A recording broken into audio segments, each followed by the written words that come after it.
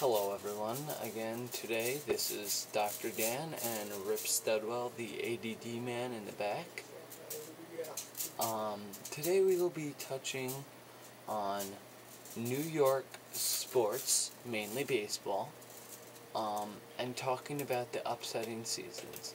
Um, today both myself and Dr. Studwell here will be um, arguing side of the Yankees as well as completely destroying the Mets. Um, first of all, I think the Yankees had a promising end of the season.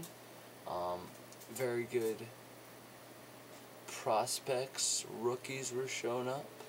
Um, Melky came back for the last half.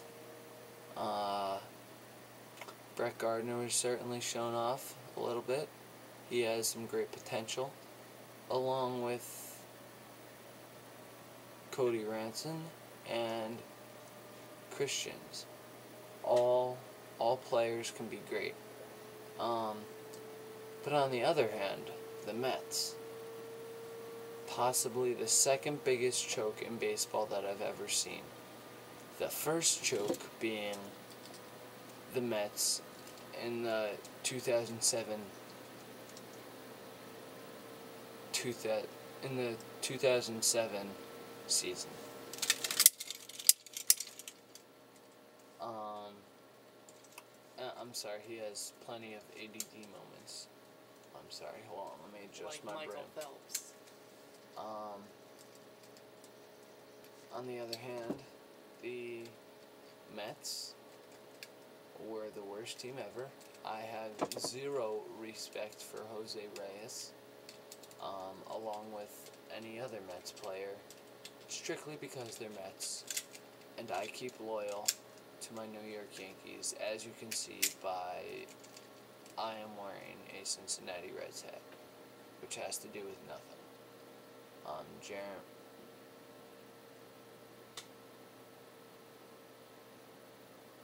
Rip Studwell.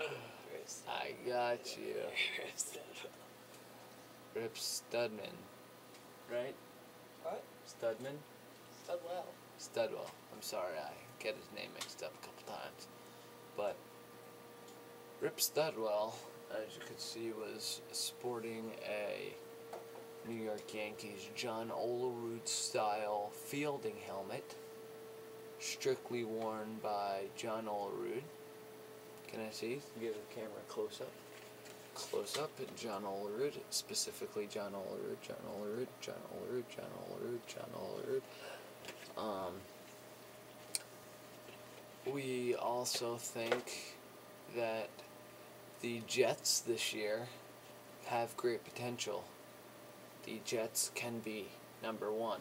Number one. Giants number two. Giants number Giants two. can be number two because everybody knows the year after the Super Bowl victory, you can never be great. You could be okay, meaning number two, but you can't be number one, like Brett Favre and the Jets. Bam, bam. Right at ya. At ya. And in other news, no one cares about hockey because that sport's gay. The only hockey player I know of, Jeremy, is Sid the Kid, Sidney Crosby.